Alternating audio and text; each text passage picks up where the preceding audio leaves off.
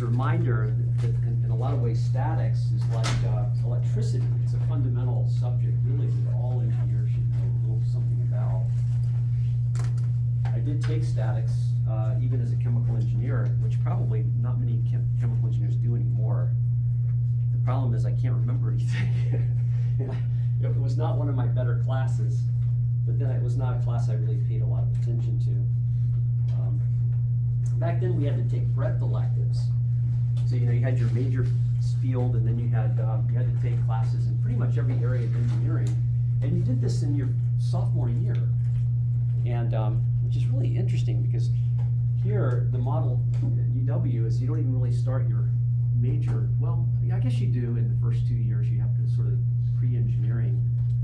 Um, but by the time I was a junior, I already had thermodynamics and uh, and, and, and, and uh, a number of the basic ele electric ele electricity, like the electric power class that we teach now, fourth year. We, we classes like that. Second year, so third year and fourth year, just focused in the major.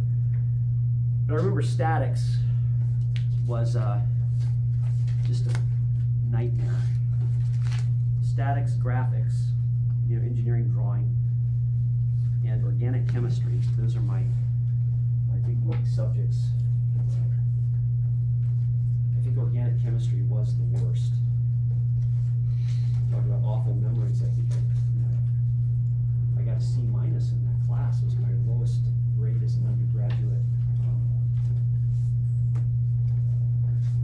I can't remember what I got in statics, but it probably was no higher than a B minus maybe. B or B minus.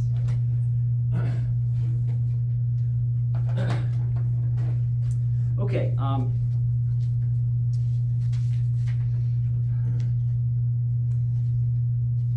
where I run into problems with statics, to be honest, is uh, centroids and moments of inertia because I, I, I, don't have a visual sense.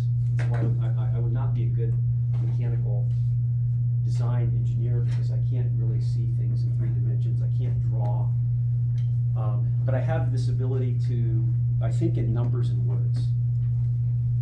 You know, I'm a linguistic person, so I'm good at languages, you know, picking up foreign languages and, um, uh, and, and, math, but I'm not good at geometry or, uh, you know, if I look at a three-dimensional, like I was preparing for this class and looking at uh, three-dimensional force uh, systems of forces, and it's very difficult for me to see uh, to resolve forces into components when the component is not on the page, when it's going into or out of the page. I just have a really difficult time.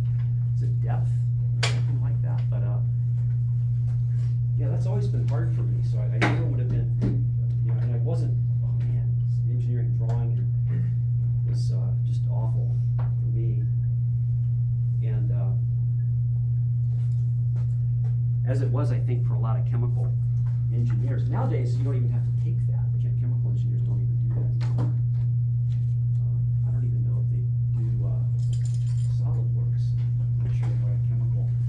Because you generally don't think in spatial you know, objects and spatial inertias like that. Anyway, um, we'll see what we can do here with, with statics. How was the thermo? How, how'd y'all do on that? not good. Did, did, did the thermo come back after? Uh, yes. No.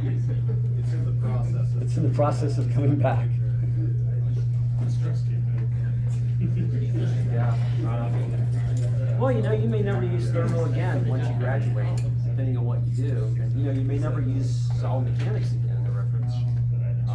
But yeah. So that's why you want to do the uh, FE exam early, you know, while the stuff is still at least partly fresh. Because after a year or two or three or five or ten, it's just going to be gone. And then you find that you have to literally go back through your college and get all your textbooks and notes out to go over. Yes, sir. So when do we register for it? You can register. You can register now. Yeah. Let's see. I think we're in the second, April, May, June. Um, you have to check to see uh, when it's offered here in the Seattle area. Um, but there should be a testing.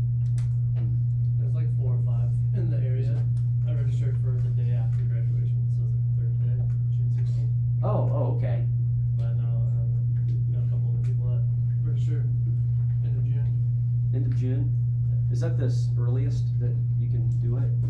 Um, I don't think so. I think there's, I think I saw a couple earlier ones, but I want to do that after, after school. Yeah. Boy, I, I would, I would, boy, I, I- yeah, doing it now, boy, while school is still on, that would be really tough. Um, But yeah, right after, I would even do it after, you know, take some time in the summer, you know, when you can. That's hard to do too, because you're, you don't really wanna study, but at least, you know, you have a little more time and maybe starting your job in the daytime and then practice, um, at night.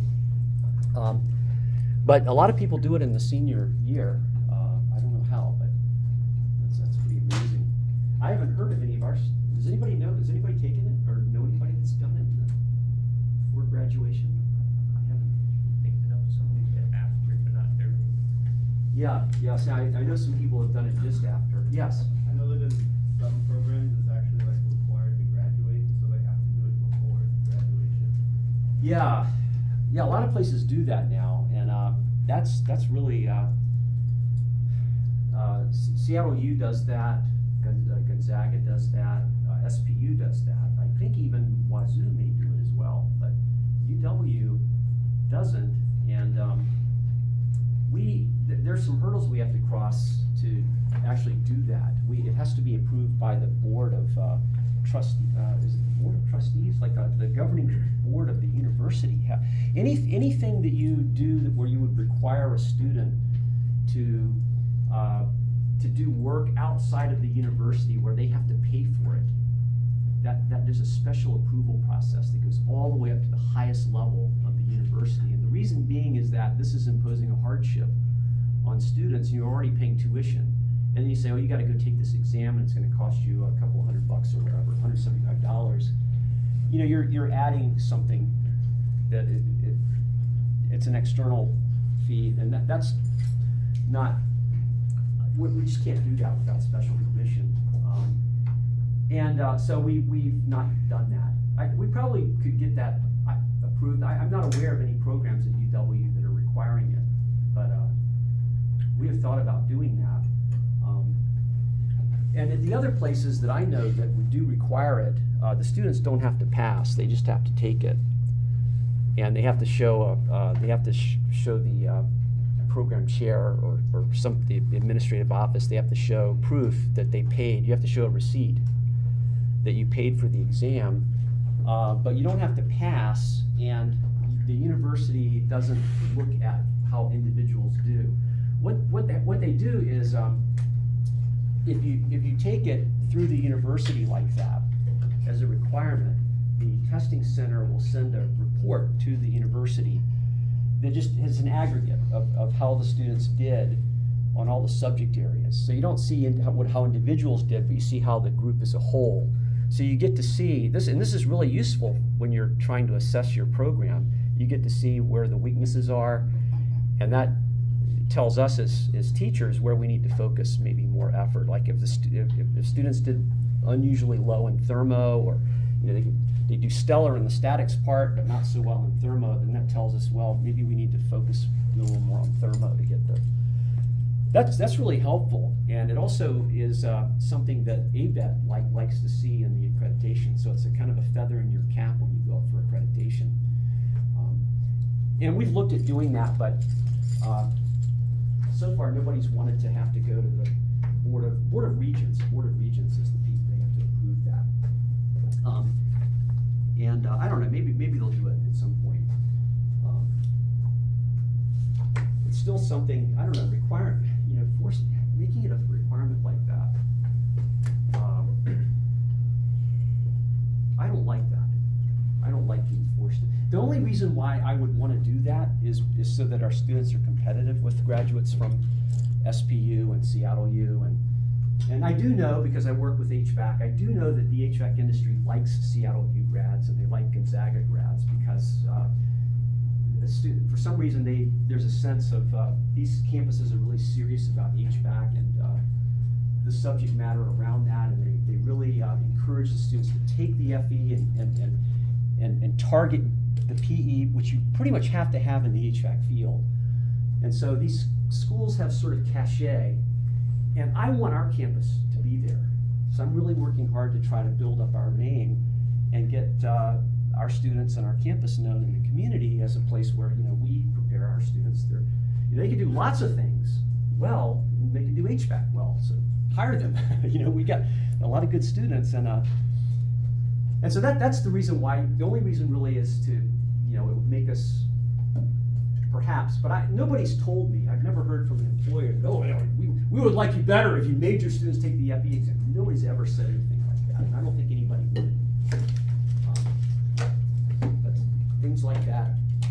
The SAT. You know, we're getting away from requiring SAT and stuff like that. Um, people argue about that. I don't know. Did y'all have to take the SAT? Yes. Yeah. It's, uh, you know, some people do really well on tests like that, and I'll, I'll give you a little clue here. I, I don't do well on those kind of tests. And, uh, I don't, I don't like do- doing multiple choice exams under pressure like that. It's really, uh, really s- stressful experience. And I have some problems that probably when I was, you know, if I, if I were in, s- in school now, I, I would probably, because I, I tend, especially when I'm nervous and, uh, and tense like I am now, um, I have slight dyslexia, so I start to write backwards and I start to sort of see things, and I think in a weird, in a weird way, and, um, that's not good, taking a test under, under pressure. Okay.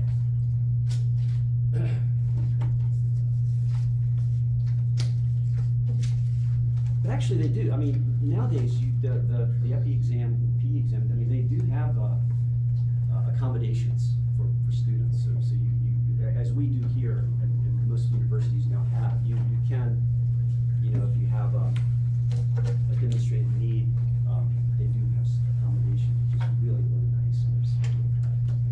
Okay, um, yeah, so, um, we got thermo. Um, statics, statics is really simpler, a lot simpler than thermo to, to go over because there's just, there's not a lot of areas to it the way there is in thermo. Um, I think the most, uh, in terms of, you, you go through the review manual and most of it is, is on, uh, centroids and moments of inertia because, you know, you've got a, all these ge- geometric shapes that you, you may have to do centroidal calculations or moments of inertia calculation. And uh, what you don't really need in static, statics, but we use those in dynamics and mechanics of materials. You know, if you're trying to understand uh, a, a body's ability to resist torsion or something like that, then the, uh, the, the, the uh, uh, polar moment of inertia, I think, is relevant. So you use these. Uh, where is it? Um, I actually use the moment of inertia I do. Uh? God, it's a, heat transfer. Can't remember what it is now, but um, so we kind of use them in other areas. But the the process of you know calculating the concept behind centroids and moments of inertia is developed in, uh, in statics. So we have these you know tables that you have to look up for a shape, and uh, then you know use the parallel axis theorem if, the, if your object is displaced from the axis. And all, you know the the FE reference handbook has those tables. You can look stuff up for selected objects. Um, so there's a, a you know a fair bit of practice that involves you know working with with that. Um, so I'm gonna just go through here what I what I put together for you for you all. And I you know I, I, I don't teach statics and I haven't taken it, so I don't know how this aligns with what you learned in, in class. I can tell you this that statics is the one subject here that every ME professor is supposed to be able to teach. Those faculty agreed that uh, that's the one subject. Um, if somebody gets sick or can't teach, every one of us is supposed to be able to step up. That's the only class that's like that. And I, I just thank my lucky stars that no one has said, Collins, you need to teach statics. And I'm like, well, you know, I got another job opportunity over here. okay, the students and I can learn statics together. That'll be fun. Okay, um, so on the on the mechanical exam, uh, this is one of the bigger subject areas. Not quite as big as as mechan uh, machine design or thermo, but it's it's right up there. One one fewer one or two fewer questions. Um, and uh, there's about seven pages. Not it's not a long part in the handbook. There's not a lot there. There's some formulas for forces and um, force systems and things like that, and then all the tables for moments. Um, and uh, the topics covered are uh, systems of forces, moments and couples, equilibrium of rigid bodies, maybe the main thing. You know, that's really uh, trusses, uh, static friction, um, and now it gets into things like uh, screws and uh, uh, pulleys, just you know, figuring out tension and you know, ma- maximum force before you actually start motion. Um, things like that, and then centroids and moments of, of inertia. Okay, but uh, of course, it, it really static starts with forces, and uh, this is where I, you know, I just want to go get a beer and sit and watch. Uh, watch an old movie or something because uh, what is this? You know, that's a Z dimension. I put put myself in here and imagine myself dancing around inside this three dimensional box figure out what's going on. Actually, I spent a lot of time drawing this and rotating it and trying to what's the best way to make this show up. You know, a lot of times you see something like this and all the all the components are the same color and you can't tell the component from the axis. I was like, I can't do it that way. Um, yeah, so hopefully that's you can visualize that. But anyway, we you know we write out the force in three dimensions and uh, using vector terms. Uh, you know the, the the the resultant times the unit vector gives us this, right? And uh, so being able to represent uh, a force vector or a force in vector notation, we can resolve the force into the three components.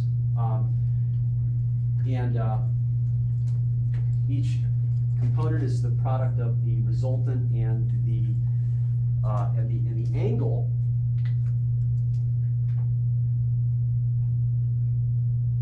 The angle between the uh, the force and the the axis of interest. So if you're interested in the z component, you'd be the cosine of the angle between the force vector and the z-axis, right here. Um, and then the, uh, the, the these angles uh, relate through this identity, this trigonometric identity here. The sum of the cosines of the angles equal to one, which can help if you need to find an angle from two two known angles. Um, and then the force, another way of expressing force is through uh, the product of the result of the uh, of the magnitude and the unit vector, and then the unit vector. Uh, this represents the distance along the axis, right? So distance along the x plus distance along the y, distance along the z, and you divide through by the sum of the square root of the sum of the squares. And sometimes uh, we need to use this form if we don't know the angles, right? Um, so here's our, uh, our, our resultant, or, or the magnitude, not the resultant, the magnitude of the force. I guess it's the result, resultant of the components, but it's the magnitude of, the force vector. Um, and it's a lot easier, of course, if we just have two dimensions. And uh, the FE exam will have have problems in two or three dimensions. Uh, system of forces can be expressed as the vector sums. Now we're talking about multiple F1 to Fn uh, systems of forces. And uh, uh, so we, we just sum the component. We can express it in vector form by just summing the components. So all the little x components go with the i, the y components with the j, and so on. And uh, we open up these Rx is just the sum of the x components of each force, and so on. And most of these equations are in the reference handbook. If we look at the reference handbook, it's right, uh, where, here? So you can see it, they use a little bit more, uh,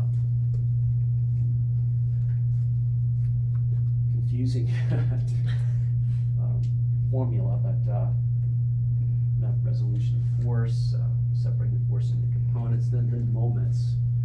So my notes, my notes follow, follow this, but with a, a little bit more, uh, elaboration, if if you're not as familiar. The, the way the FE hand, handbook works, as you probably know by now, is it's great if you already know the subject really well, right? You don't need any explanation, you just need the, uh, most general formula. But if you're not, you know, if you, if you don't know or you can't remember everything, then the reference handbook sometimes isn't all that helpful, or it doesn't seem to give you enough information. Um, but anyway, uh, so the magnitude and direction angles of the resultant uh, for the system of vectors are uh, expressed here. Um, where the angles are the angles with respect to the to the axis, x, y, and z axis. And then I've got some examples here. Um, the magnitude of the resultant of the three forces here. Um,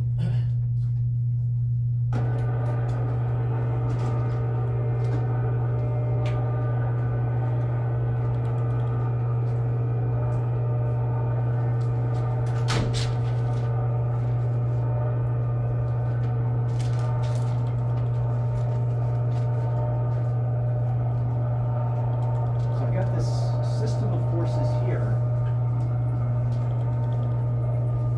I think it's a long time, isn't it? Um, so we got the resultant. Got three forces and got an angle for this one, but we just have the uh, x and y direction or the distances uh, for those. And uh, this is two-dimensional, so we can write, uh, we can resolve, or we can write a, a sum. we,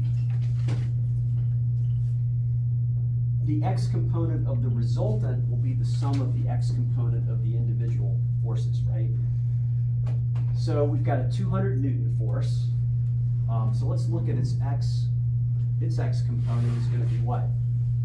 What's the x component of the 200 Newton force? Four fifths. Four fifths, right? And uh, so we have to come over and uh, either in our head or writing it down, you know, what the hypotenuse is there. So we've got a 3, 4, 5 triangle. And that's one we'll commonly see. And, you know, a 12, 5, 13 is another.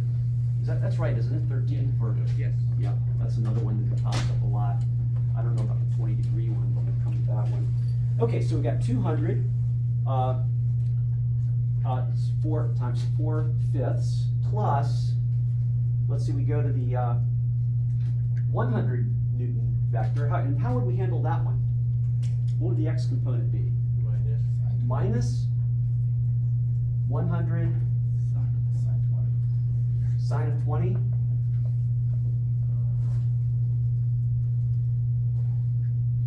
Is that good? Yeah. Or cosine of 70, right? But I think if we do cosine 70, it would have to be plus, right? Is that the same thing?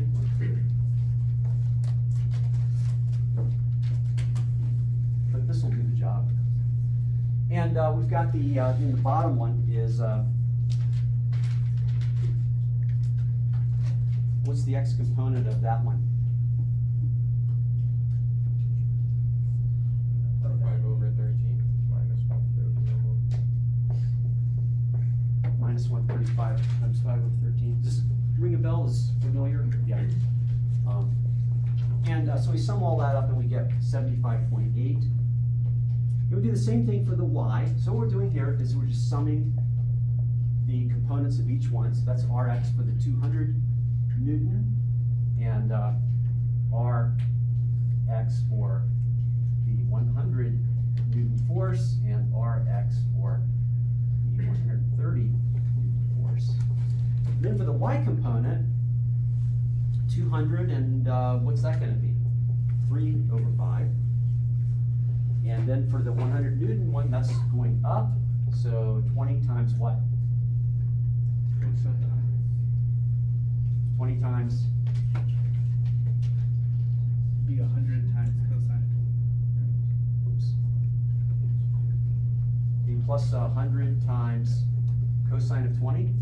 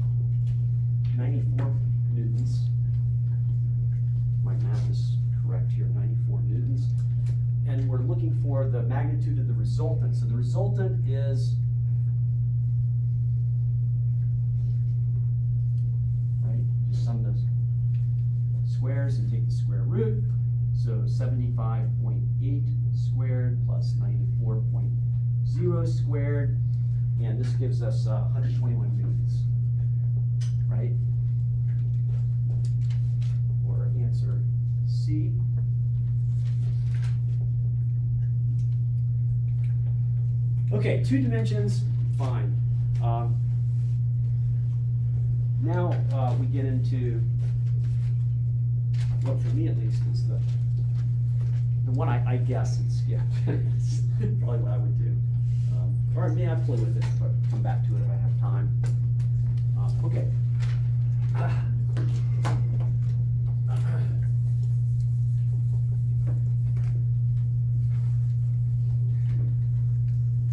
So example two, what are the magnitude and direction angles? Okay, so this one is, uh, we're gonna, it's a little bit bigger than a, probably an exam question would be, because it's asking for a bunch of different parts here, but it's a good practice. Um, So we've got, uh,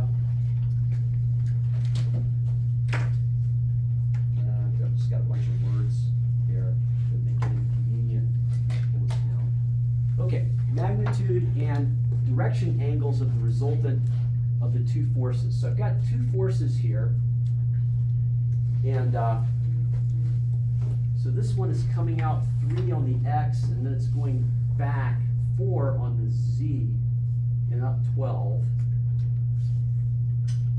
And it's hundred thirty newtons. This one is thirty degrees with respect to the y-axis, so theta y thirty degrees, and then eighty degrees with respect to z.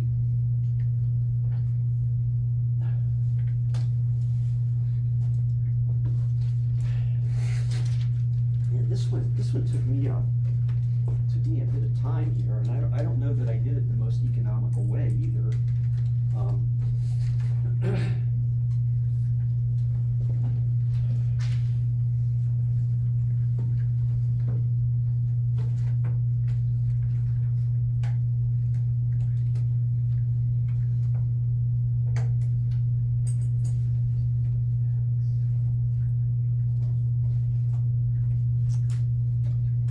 magnitude, direction, angles.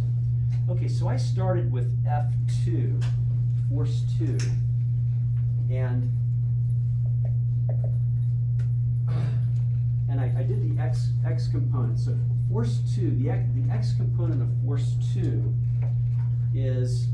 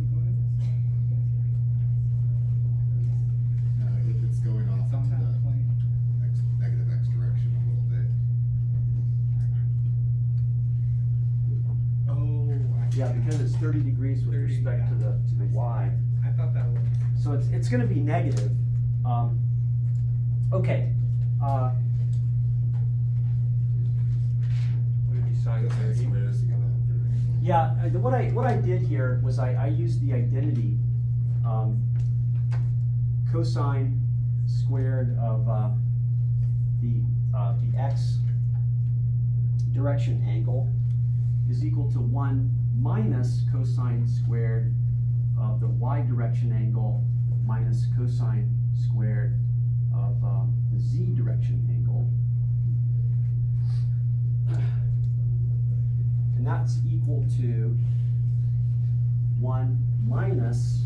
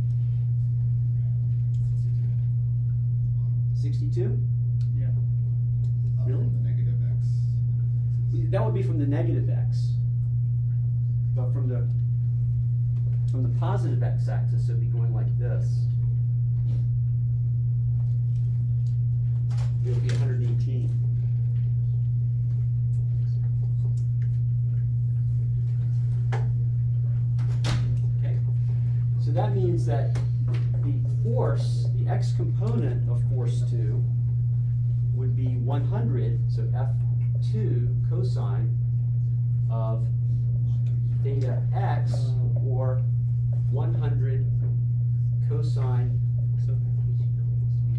118 degrees would give us negative 46.9. So that's our the x component of force 2.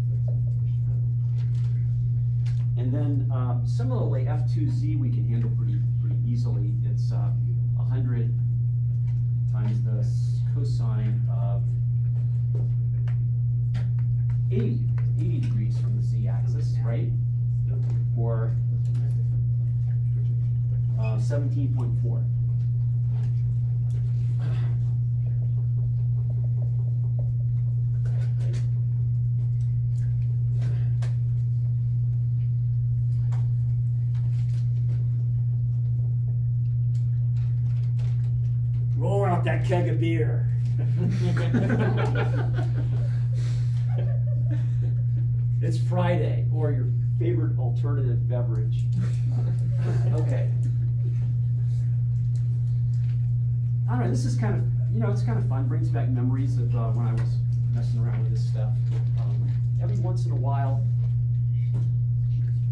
one of the things you do deal with if you're doing uh, HVAC work or anything that involves machinery is sometimes you have to de- deal with the, uh, the flooring loads and things like that, make sure you're not, you know, with motors and big fans, make sure you're not gonna crash, crash through the floor. I never had a problem with that, but man, I had some electrical issues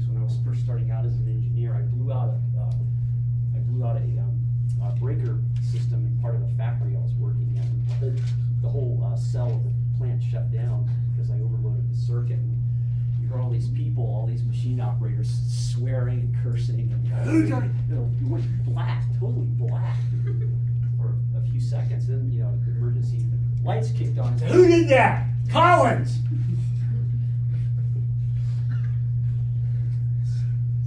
Collins, get your butt in here.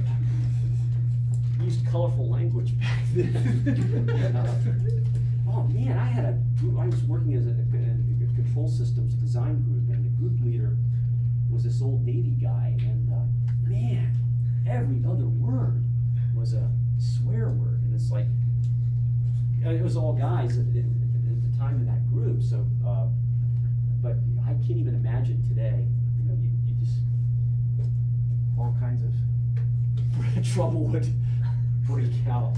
Um, okay, um, so we're, okay, so we're looking at F2, uh, F2X. So now we're gonna look at F1. And F1 was really, a- that was a struggle for me, because you don't have any angles here. You just have these, uh, three over, four back, and then we go up 12. And so this is one where, at least for me, doing the, uh, using the unit vector approach, where we just, uh, we take the, um, so this is F1. The, uh, the force vector is the resultant times the, uh, uh, multiplied by the unit vector, right? I don't know if that's the right, the standard way of, uh, of doing that, but, um,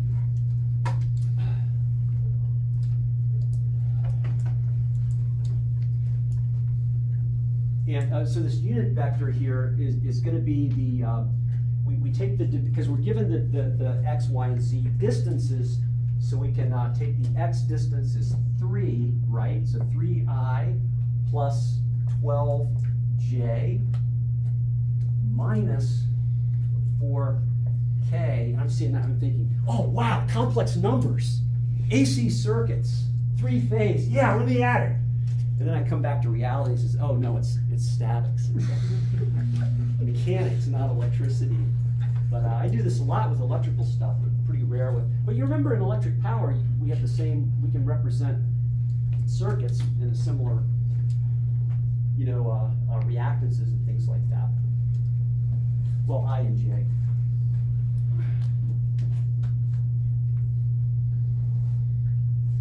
Okay, so that's our uh, that's our, our unit vector, and uh, that means. Uh, oh no, we have to divide it. We have to divide by the sum of the. Magnitude, right? We have to divide by the uh, three squared plus twelve squared um, plus four squared, right?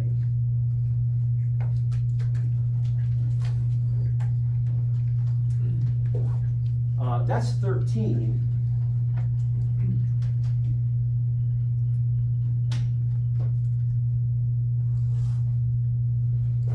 So we, we end up with 3i plus 12j minus 4k over 13.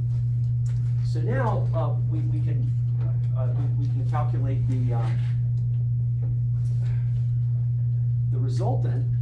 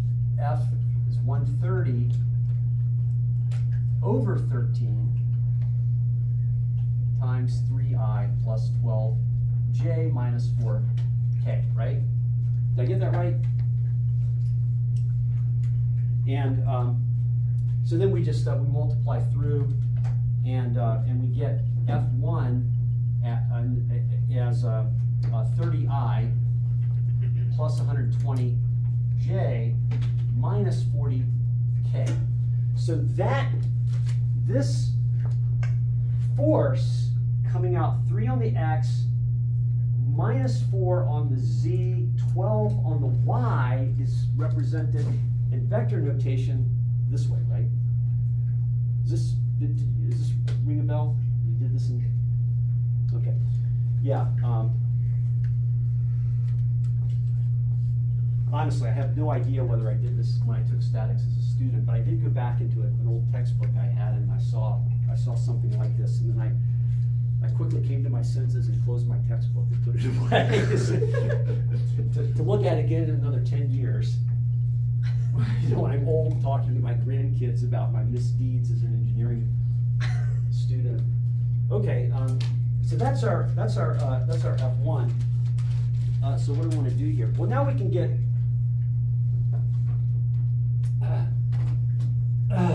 Okay, so we can get the resultant. Okay, so this, this is, this is R R1X, R1Y, and R1Z. So, saying? That's F.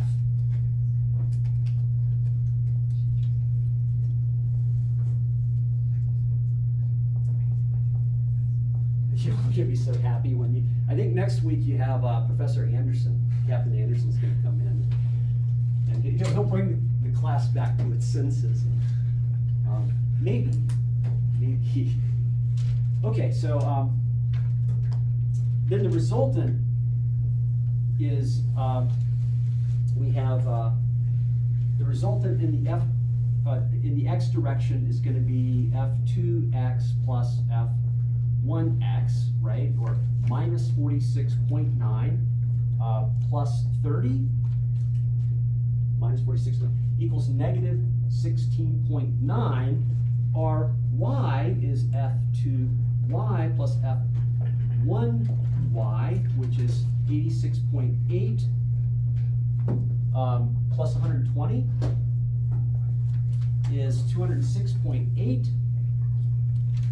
And our z is f two, f two z plus f one z equals f two z seventeen point four minus forty is negative twenty-two point six. Okay, so there, those are our, the, the components of our resultant, and, and then we can calculate the magnitude of the resultant by summing the squares of all those. Um, plus twenty, uh, two hundred and six point eight squared plus, plus, uh, I have to be careful here, because my calculator will mess this up if I'm, if I'm not careful. Twenty minus twenty-two Square because that's gonna be positive. Um, and actually, I usually just put all positive numbers in here, so I, I don't inadvertently add a negative number. And we get two oh nine newtons for our resultant.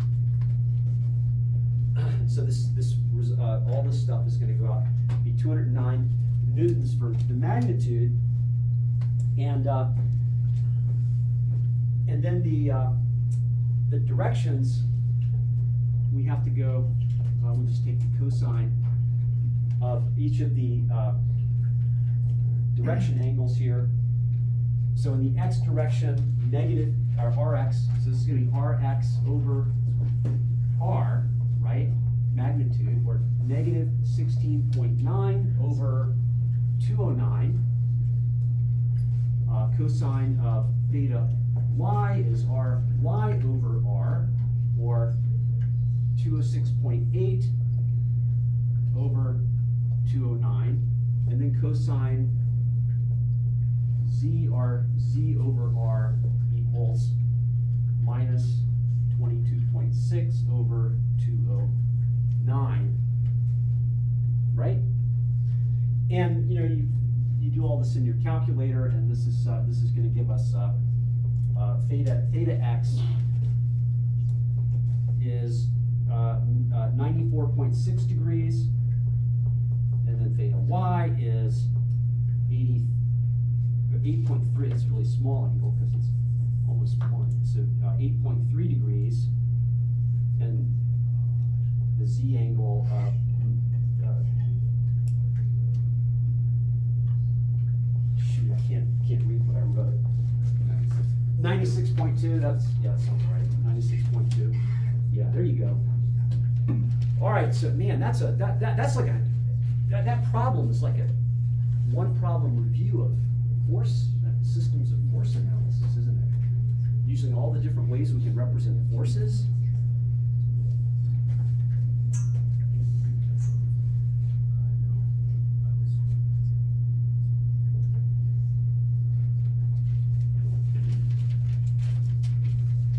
Yes, sir. Uh, so we have about three minutes to do the, the multiple choice questions on, Yes. on the test. Um, for a question like this, is this one you would want to spend more time with, or is there a strategy of how to?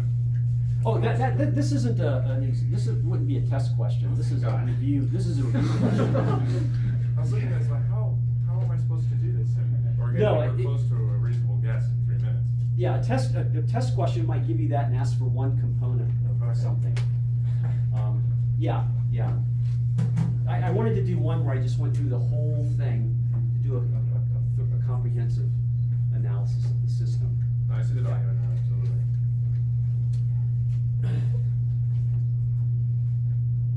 But number one would be a, I think, a, an an example, a representative example of a test question, okay? All right, so, uh, fun, fun with forces, and then we, uh, we can have fun with couples and moments as well. Um, moments about a point express the tendency of a body to resist rotation, right? I used to always confuse, why, why do we just use moments? So it's a torque, isn't it torque? I mean, force time distance is torque. What's the difference? Moment is for statics and torque is when you have rotation.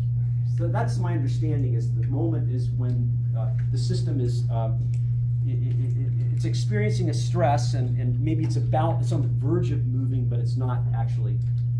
It, it- it's a tendency to want to rotate. But when it starts rotating, then we say, oh, it's torque. But honestly, I think people just confuse, you know, confuse terms. I actually don't, I rarely see moment used outside of statics, uh, talking about statics, but anyway, um,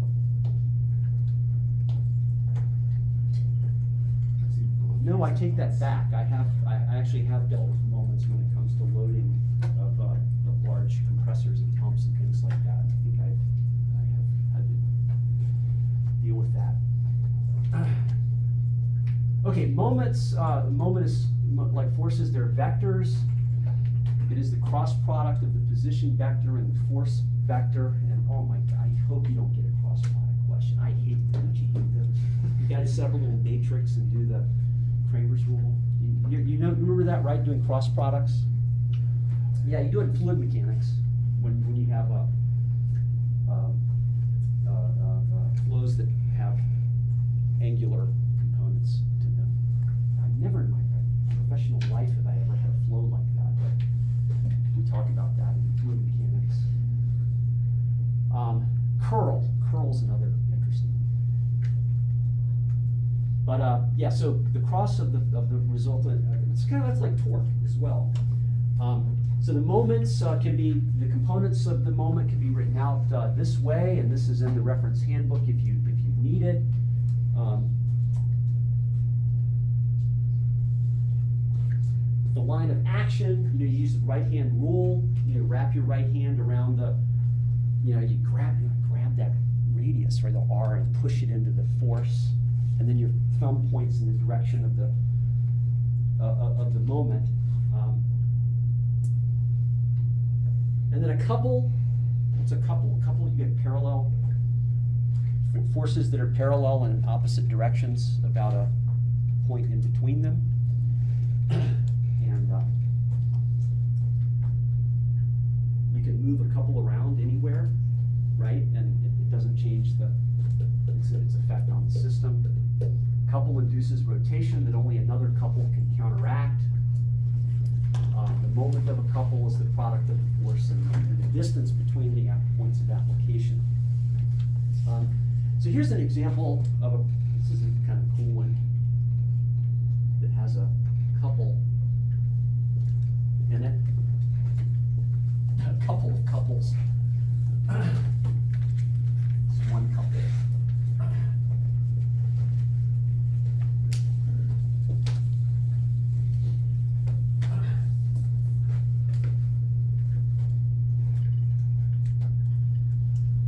So how would the, uh, so got a disc with a radius, the radius of uh, four centimeters, uh, experiences, we've got this three hundred and twenty newton force pulling about the, uh, O, and, uh, what, what is the moment? You're just looking at that three hundred and twenty newton force, what would be its moment about O? Zero, right? Why? No radius. no radial component. It's, it's, it's the forces in line with the, uh, whatever the force is in, in, in, in the line of the, the line of action is, is at the point. Um, then there, there is no moment, right? Pull, you know, pull, that's where you know the kid's gonna grow up to be a mechanical engineer. You see them pulling on that, you know, thinking they're gonna rotate. Why is this thing not rotating? That would be me. Yeah, I'd, I'd pull the, break the rope trying to rotate the thing. Okay, um, that's why I played with chemistry sets rather than, uh, mechanical stuff when I was a kid.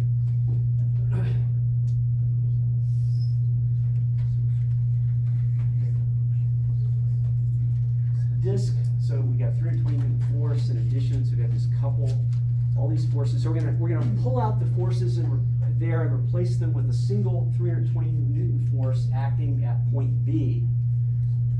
Uh, so that we're gonna act, point B is on the rim of the disc, and, but it's parallel to the original three hundred twenty newton force. So what most nearly would the angle theta be to maintain, uh, equilibrium?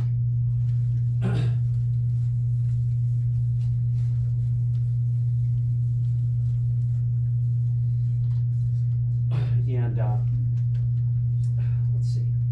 So you know when you do moments, uh, you, you assume a, direction of positive rotation, right? So, uh, I, I would always draw something like that. And, you know, that would be my, my assumption. And I do the same on my coordinate axes as well. Uh, u- usually it's the normal, you know, positive to the right, but some, sometimes it's convenient to do weird things, but. Okay, so, um, tell me where, where would you start here? Do you wanna do? That's the key to these problems, right? It's starting. It's, it's, it's, it's, you know, how do I start? Because that really determines your, how you solve it, yeah. So are we trying to set theta up so that the moment at O is equivalent based on that new three hundred and twenty newton force? It's kinda- Yes, Kinda yeah. confusing.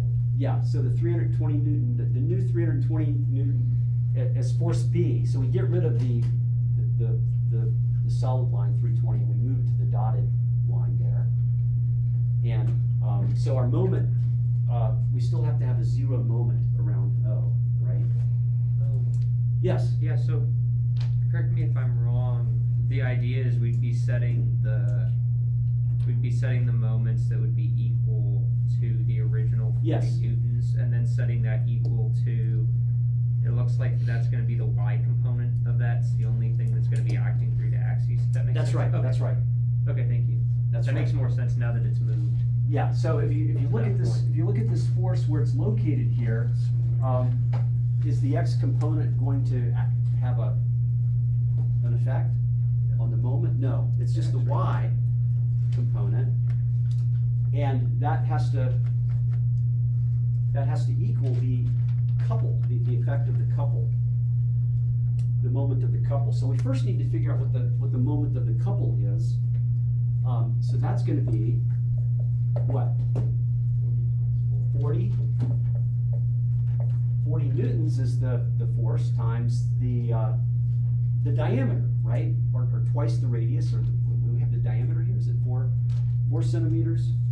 The. Um, the radius is four centimeters. So what I, I have four centimeters times two, and that's going to give us. Uh, actually, we're going to have to put a negative sign here because I'm defining rotation uh, positive in the clockwise, and the couple is taking us counterclockwise, right? So this is going to be 300, negative 320.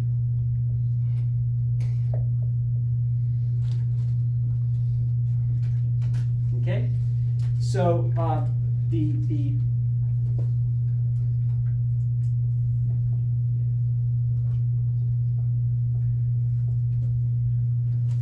So the moment of that new force, FB, has to equal minus three twenty. Okay, so the moment, so this is with the new force is it FFB, only the Y component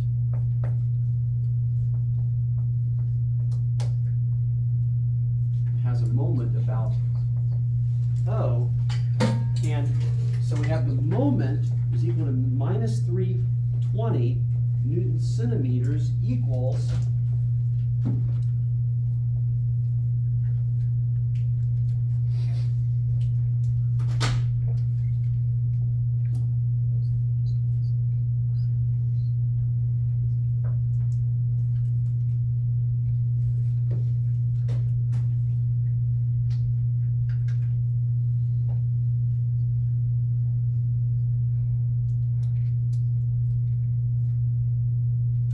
So what's the Y component gonna be?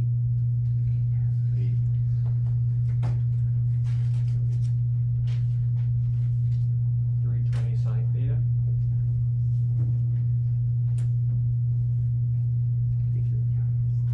Has to do. And, uh, this is going, this is gonna be negative. This is going counterclockwise, so it's negative F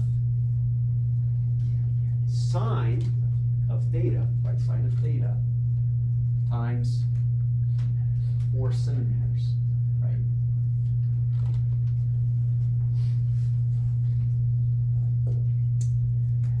And if we solve for theta, so minus three twenty sine theta times four centimeters equals three twenty Newton centimeters.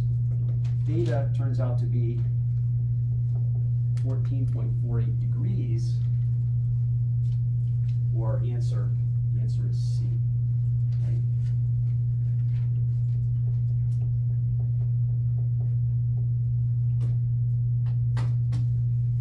Okay, so moments and forces, and then putting them all together in a system of forces, you know, moments and forces acting together.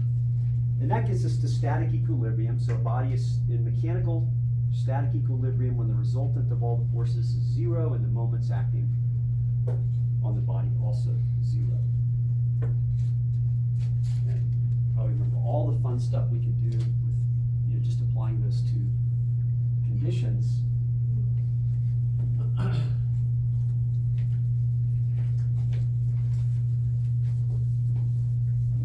So now we can torment ourselves with yet another three-dimensional.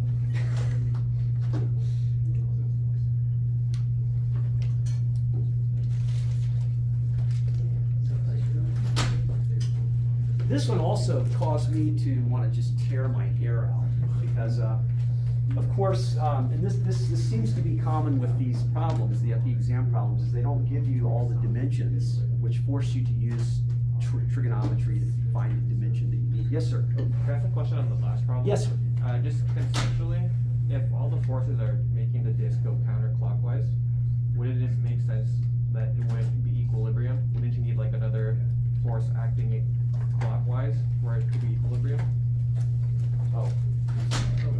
So, so what, I think, what, no, I agree with you. I think the, I think what it mentioned was that you're removing the two, you're removing the couple.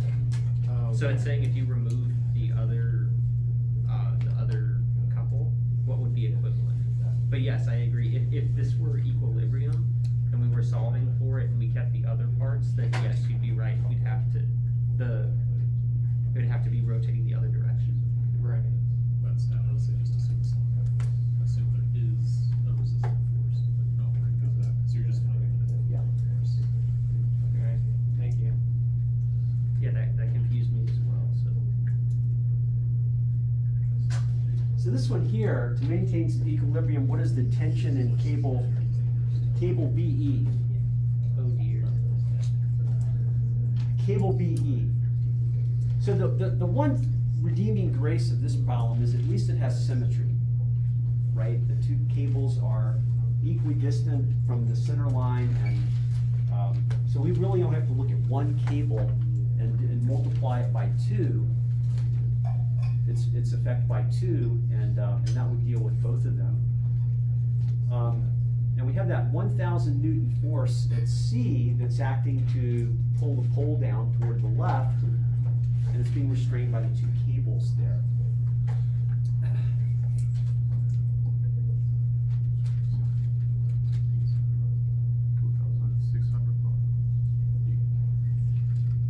So, how would you solve this problem? Which point would you focus on? A, B, C, D? Start with B. Start with C. Start with C. Find the moment that creates a A, Mm-hmm. and then I'll tell you what you need to resist it, and then you just go Yeah. B and find what moment opposite, and then you split it between the two. Right, yeah, that's conceptually what we're doing, is we're, we're, we're, this thing is, is being rotated about A, it's being pulled to the left by the thousand Newton force, and we're restraining it up to the right with, uh, the cables, so we're gonna take, a- we're gonna take a moment about A. We have symmetry, it's BE and BD. And what we need here, BE, we need the lengths of the cables, need the lengths of the cables, which are hypotenuse, they're, uh, the cable is a hypotenuse of a triangle, and think of a triangle, it's coming down, and then it, between A and E, that's the base of the triangle. So to get the hypotenuse, to get the length BE, we need the distance AE. So it's like a double application of, of the Pythagorean theorem here. So BE,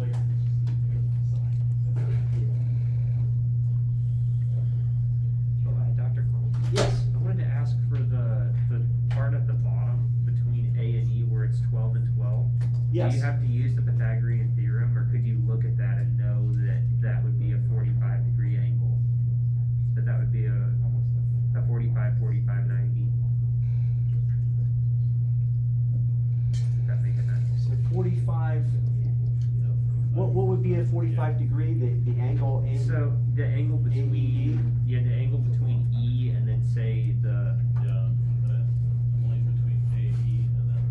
so then that, Yeah. that, that distance would be twelve times, uh, is it, I think square root of two, I think, correct?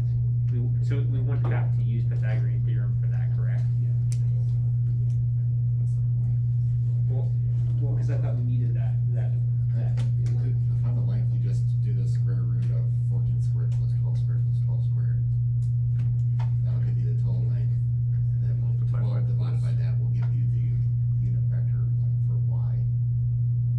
Yeah, I think you could, you could do it that way, Okay, my bad, okay, thank you.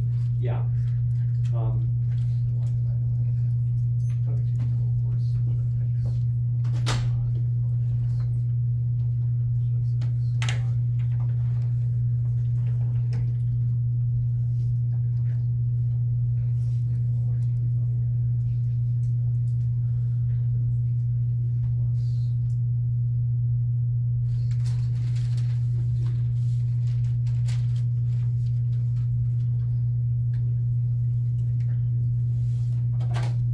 The real question is why are you trying to quote two? Okay, so what I, what I, what I, the way I, I did, I worked this, okay, we need the moment about, about A. And that is gonna be zero at equilibrium.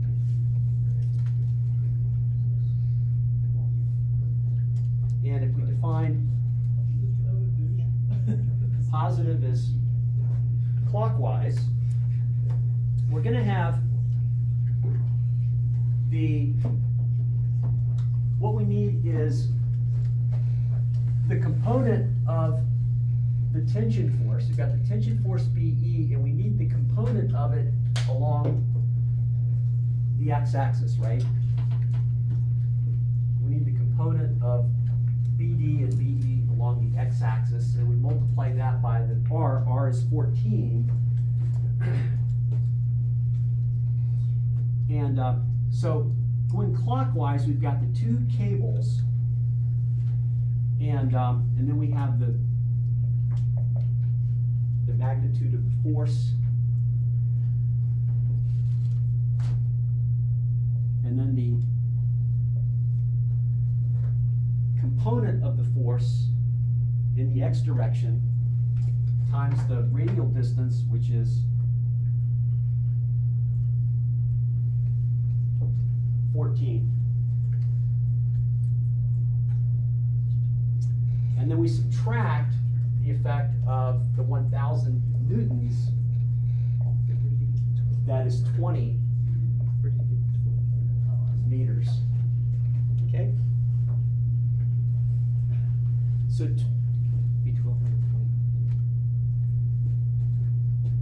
yeah, where the twenty-two comes from, twenty-two is the length of BE. Or BD. And that's equal to the square root of fourteen, which is the, so we're making a triangle A, B, E, A. A, B, E, A. A, B, E, A. And that distance AE is 16.97.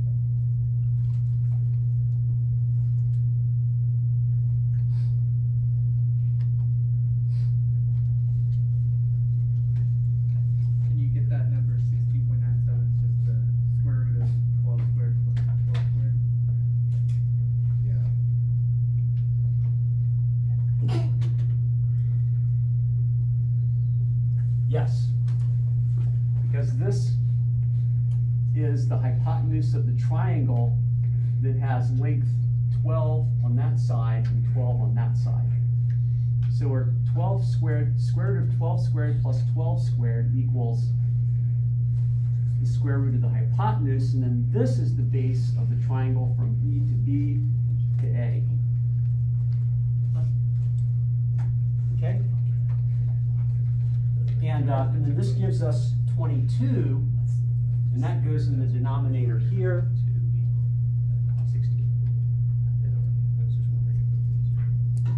And then the component that we're looking for here for our, uh, our moment is twelve over twenty-two. And when you multiply, or if you, when you solve for FBE, or FBD, from symmetry, we get thirteen ten newtons, okay? So tell me, how do these compare with problems you did in statics class? Are these harder than statics problems, or they, they seem representative of what you did in statics? Yeah, It's about the same. About the same?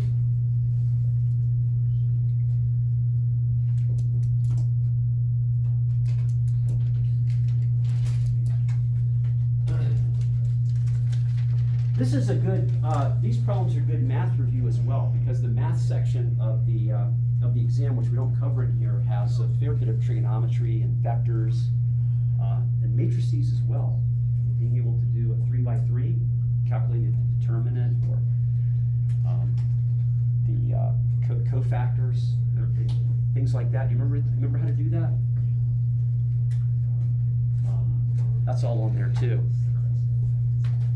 Yeah, so take a break and, five minute break and we'll come back and finish off. You might say that it already is better than Yes. Yeah. I have to speak.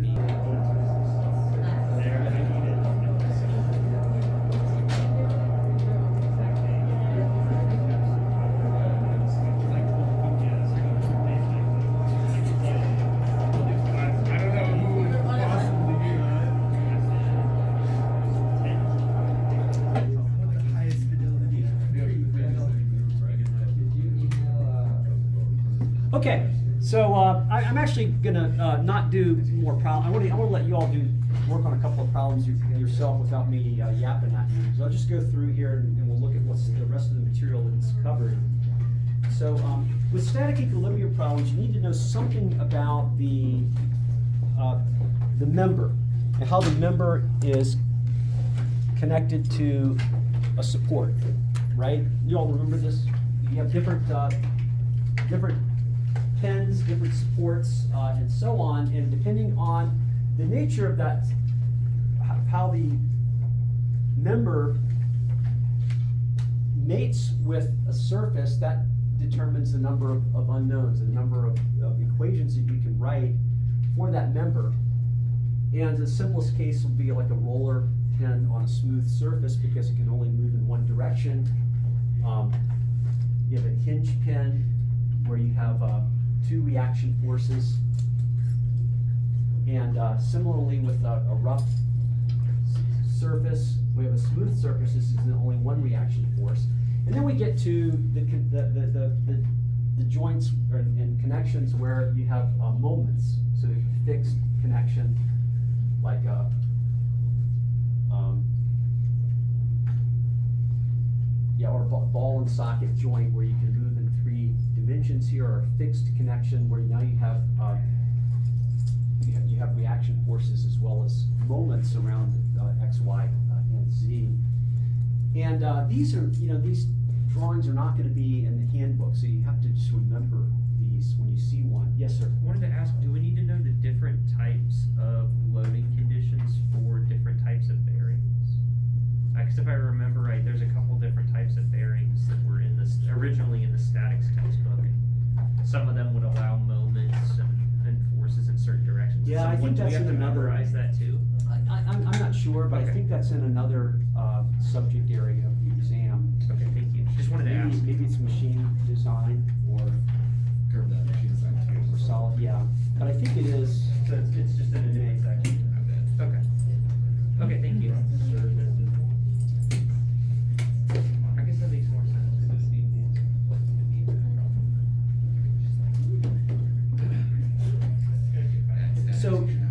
Being able to figure out whether a system is statically determinate or statically indeterminate, if it's statically indeterminate, which members can you take out and still have a stable system? So you might have problems like that, they might be just, you, you look at something and you, you know, that looks like, you know, maybe I have to take this out.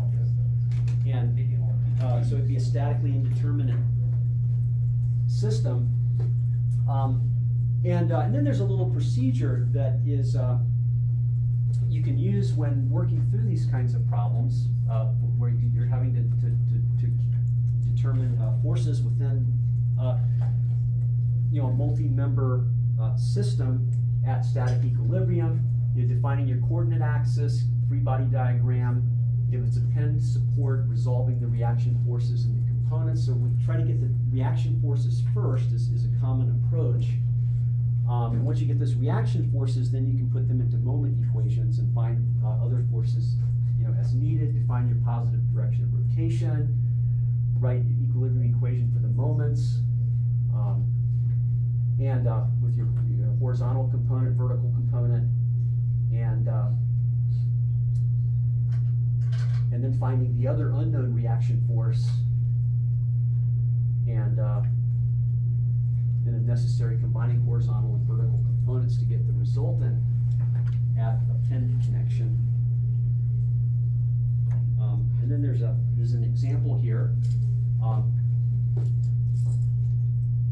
which is uh, this is not too bad, not too complicated, but involves uh,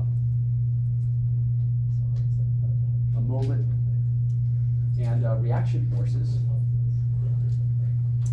Then trusses, our favorite uh, favorite things here. Um, some trusses are statically determinate, some may not be. Um, and uh, sometimes we need to figure out which members are not uh, load bearing. Those can be easy parts of problems because you can eliminate those from your uh, from your equilibrium analysis if they're not load bearing. Um, both members uh, of an apex are, are not load bearing, for example, or if you have uh, you know two two members that join at a at a joint, and then the third member comes out of that joint. That third member is uh, uh, is not force bearing, or a zero force member. And then this is a rule for to be statically determinate the number of members twice the number of joints minus three. And if this number this number is greater than the right side, then um, you have more members than needed for stability. If this number is less, this side is less than the right side, you don't want to go on that bridge. Professor Collins probably designed it. and, uh, and, and he's left the country and changed his identity. but anyway, uh, so so trust the method of joints, you know, going joint by joint, which is nice when you need to get uh, forces for a, you know, a lot of the members in the truss. Um, and uh, and then if you're you're going deep into the truss or you know there's only one or two members that you're really interested in using the method of sections.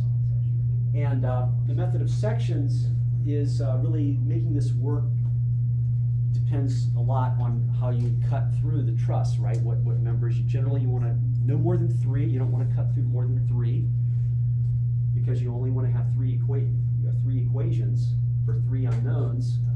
Um, the two reaction forces in the moment.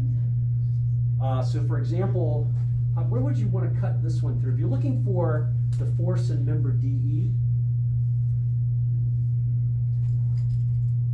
where, where would you want to cut that? Really, somewhere that goes through DE. Okay, yeah, so somewhere through. DE. Like maybe diagonally. Yeah, kind of that direction. Yeah, something like that, DE, maybe DE, CE, and DF. That's, I think that's my solution, I did it that way. Um, and then, you know, you've got just DE hanging off of this joint here, and it makes it easier to, to analyze it. Um, yeah, this one's kind of interesting too, finding the forces in each of those, uh, in each of these members is, is a good little exercise just to get back into the feel of, of using the method of joints and moving joint to joint. And you've got your uh, joints in compression, joints in tension, right? So the force that's going in compression, you know, that they always, uh, forces all go point away from each other, right? From the joint. Um, and uh, then static friction. Uh, working with the static friction equation, force is proportional to the normal, the normal force, which is uh, the, the, the, the the normal force is the component of the gravitational force that is normal to the surface, the normal to the plane on which the, the body is resting. Um, when the, the surface is at an angle theta, then the, uh, the, the force is multiplied by the cosine of that angle. So that would be, you know, the famous ramp problems where you've got a box sitting on a ramp want to figure out what the friction force is and things like that. Um, that's the kind of problem that you might run into here. Um, dynamic friction, so just knowing the difference, because dynamic friction deals with, with, now we're getting into dynamics, and that's not part of statics. That will be on the dynamics part of the exam. But, so the dy- dynamic friction uh, coefficient is about 75% of the static friction. So once you once you uh, break inertia and you begin to move, then the friction coefficient drops off. becomes dynamic friction. and uh, oh, here is a you know famous load sitting on a ramp problem. I somehow I just got these memories of I, I have memories of doing this in physics as a student, but I, I can't remember doing this in stat, statics. Must must have done that. And uh, so then belts and pulleys, uh, understanding how friction works in a, uh, um, it, it, it, it transmits torque from one uh, side of the pulley to the other. And uh, then there's an equation that relates the two tension forces in the pulley. You've got one tight side and one loose side, right? And uh, the two, the forces in the two, the loose side and the tight side relate to each other by this equation here, which has e to the, uh, we have the static friction co or static friction coefficient and the angle between where the the cables are tangent to the pulley. And then there's an example here of um, finding a minimum tension in one of these is this one here, this cable required to prevent slippage, given the radius of the, the sheave and uh, the coefficient of static friction. So a lot of these just seem to be more plug-in problems where you're given the parameters and you, you pull the right equation. And uh, the- these are given in the, uh, this one is given in, the- in the reference handbook. Um, And then, uh, another possible application is in a screw, where you're tightening a screw against tension or or loosening a screw. And, uh, you're given the uh, radius of the screw, the pitch of the threads, and pitch angle. And you wanna find out the moment required, and then the moment where you just, uh, just before you begin to, to turn, to, to, to rotate the screw, um, what that moment would be, and this is how we can calculate it. And, uh, there's an example of a square thread screw problem here. And then we, uh, the final part is, uh, centroids and moments of inertia. Um, and, uh, there's some definitions here. The centroid is, uh, just deals with the area of the object. I, you know, people often think of it as the where, the point where the center of gravity, center of gravity, but that's not exactly the same thing. Um, the centroid is defined not without, it's independent of any forces acting on the, um, on the body. It's just related to its, the area.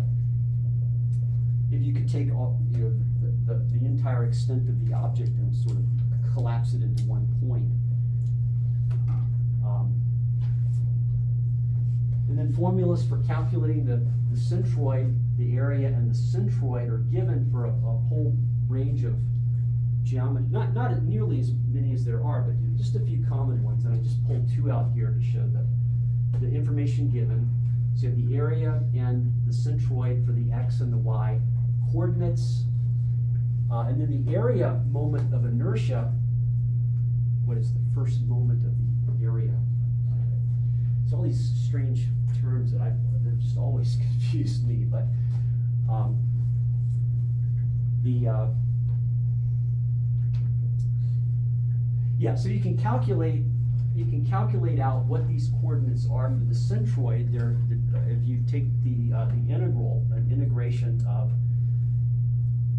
the, the, the, the, the, the, the elements of the, uh, uh, of the, of the shape, the different parts of it, uh, integrate across and then divide by the total area. Um, but for the most part, we, we, we always look these up in, in tables. Um, And, uh, so that would be for calculating the centroid, the centroid coordinates, then the moments of inertia, the second moment of the area, the product of the area of an element and the square of its distance from the axis. And uh, so this is the this is in measure of a, a body's capacity to resist torsion, twisting, bending, no, uh, not torsion, but bending. Um, and uh,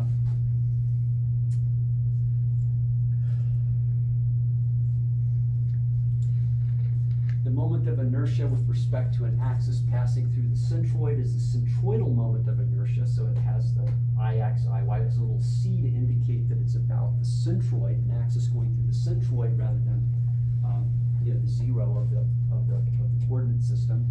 Then the polar moment of inertia is we sum the x and the y component.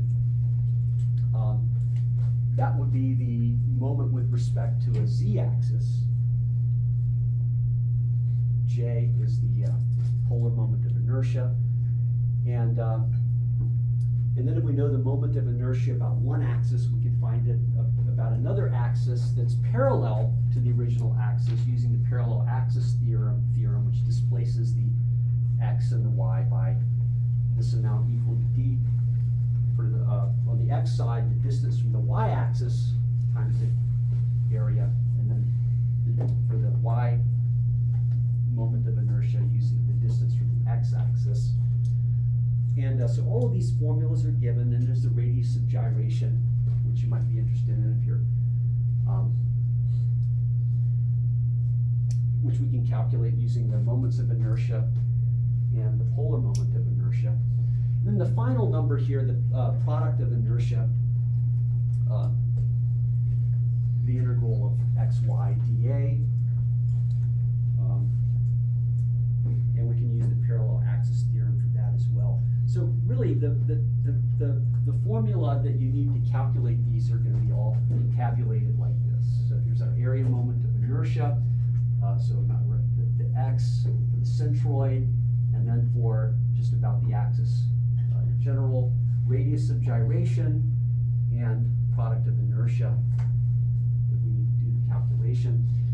And really, the, you know, the challenge here is when we have composite bodies, right? They're combinations of, of, of various bodies here, or when we have something like this, but it's, uh, maybe it's upside down, or it's, uh, it's displaced from the axis, and that's where we get into having to, you know, think about it, how do we, you have to sum, you know, for a composite, you have to sum the, uh, the values for its components and things like that. And, uh, which is why, uh, in the examples, so here's a, a common application where we have, uh, we're looking for the centroid coordinate, just one of the coordinates here. Uh, it- but we have a composite of two simple objects, but instead of summing them, we subtract out the, uh, the contribution from the, the semicircle here. So we take the triangle, we find what its centroid x coordinate is, and then we, we subtract out the part that would be, uh, contributed by the semicircle. And then here we have another composite structure where we would have the sum of the, the, the contribution to the moment of inertia from this rectangle and the contribution from that rectangle. And we're looking for it about the x-axis here. And, uh, and that one sits right on the x-axis, and, you know, we can imagine another problem where it would be displaced a little bit, and maybe use the parallel axis theorem. And, so that really, you know, that rounds out what you would be expected to know for the statics part. I hope this was helpful. Um, it, it, it was fun to kind of go through this and it brought me back to stuff that I hadn't thought about in a long time. Um, yeah, do you have any questions or?